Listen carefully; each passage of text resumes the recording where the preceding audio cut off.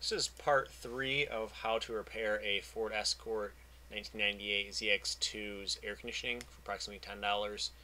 I'm opting to do a voice overlay in an attempt to increase the overall clarity of this video here, and I'll have some pictures to make it simpler too. You can see the faulty part, which is my WAC relay. That's the part that will be replaced with a Radio Shack replacement. Um, the cost of that part is right around $10. You can see the pin layout of the Radio Shack part is the same as the pin layout of my WAC relay. And this is the underside of my CCRM. You can see the burnt out chip portion, which is most likely the reason why it doesn't work. And just another angle of the WAC relay. The WAC relay is the, the chip in the upper area that you can see on there. The Radio Shack chip is slightly taller than the WAC relay, but it still fits within the housing about the same dimensions, um, width and length, but just the height is taller. Alright, right in this area here I'm going to actually show how to do the actual soldering portions.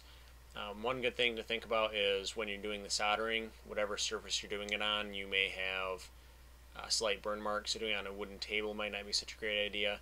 I just ended up using a uh, folder that I didn't really care about. It was kind of a Landimated type of folder and so that worked pretty decent. There are a lot of types of solder. You're going to make sure and choose electrical solder. You can usually tell the difference between electrical solder and other types of solder by its core. It's called a rosin core. Basically just has rosin within the center of the solder to be sure and clean out impurities. And generally it's a little different uh, type of metal they use as well at this point you can see that I completely removed the WAC relay. That's the empty space there. Right here, here, here, here, and here are the points where the five pins will stick through the PCB board. This is a single layer PCB board, so the pins will go all the way through the back of the, the PCB. When you put the solder on the back of it, you'll heat up the actual pins, not the board. You'll heat or the solder. You'll heat up the pins and we will put the solder next to the pins and it will touch the pins and it will have the solder pull right to it. This area, because I didn't remove all of the solder very well, because I did not use a desoldering wick or a solder sucker, you can tell that I am struggling on getting this to work. So use a desoldering wick or a solder sucker. Alright, here we're getting into the actual soldering portion. Now you see I have my new WAC relay. All five pins are pushing through the holes. They'll stick all the way through the back side of the PCB. And you'll want to clean off your tip to be sure your tip is cleaned. I just used uh, steel wool, which is a pretty decent method to clean off your wick. And your method here is you need to put the soldering iron's tip in direct contact with the actual pins on your device. So not on the green PCB, but directly on the pins themselves. Wait until that is warm.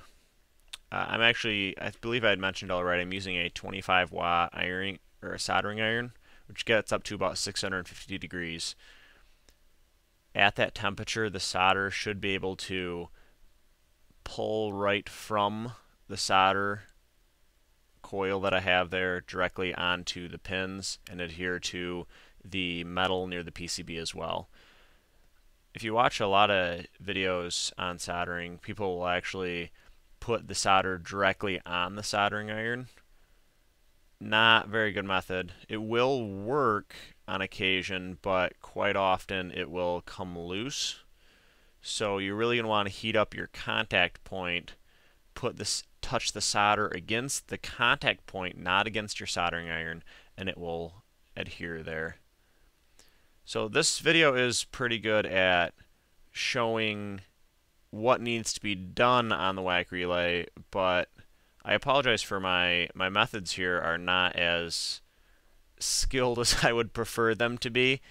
So my advice would be to use this as a point of reference as to what needs to be soldered and what areas or what methods to use for that. But ultimately, I would recommend double checking a YouTube video or two online and of someone who does more electrical soldering than I do myself so they can be sure and do it.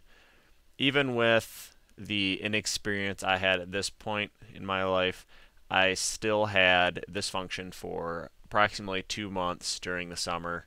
It did fail at that point, but that could very well have been because of the the the relay that I added from Radio Shack is regulated at 7 to 9 volts.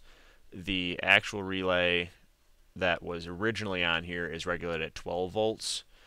And so because of that, I'm not surprised at all that it failed in two months. That that could be the reason, or it could be because of my sloppy soldering. Not sure which. So you'll have to do this on every single one of these points here. Let me adjust the camera a little bit.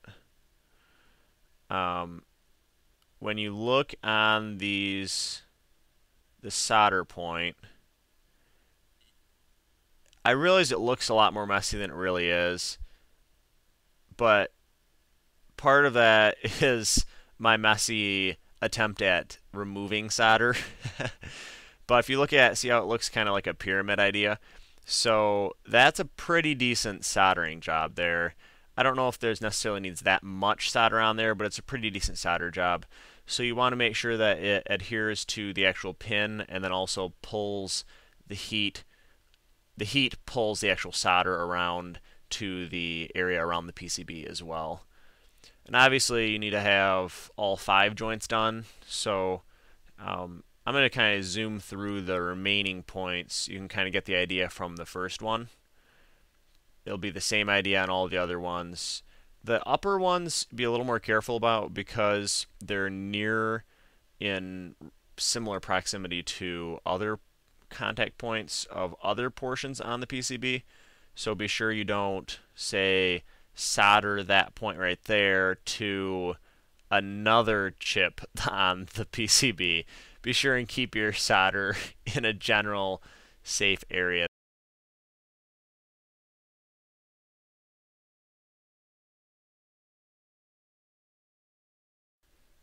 At this point, this is a great example as to what not to do. So see how my soldering iron is just trying to heat up the solder to get it done. You also see the upper right solder point there, it just looks like a ball there. It should not look like that. It should look like a pyramid, not just a blob.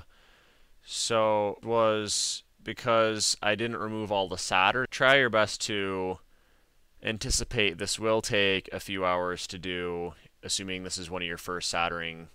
Now, if you're doing this in a cooler room, it'll be a lot harder to solder it because the solder will cool off a lot easier. Also, if you pull the soldering iron off of the tip, even for a half a second, it will drop in temperature so fast.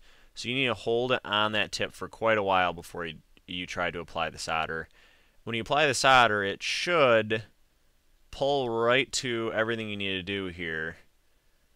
So we'll see how this one looks here in just a second. Now see, obviously this is another little bit messy one. Better than the other bottom left and upper right ones, but the bottom right one is that pyramid looking thing, so that one looked pretty good.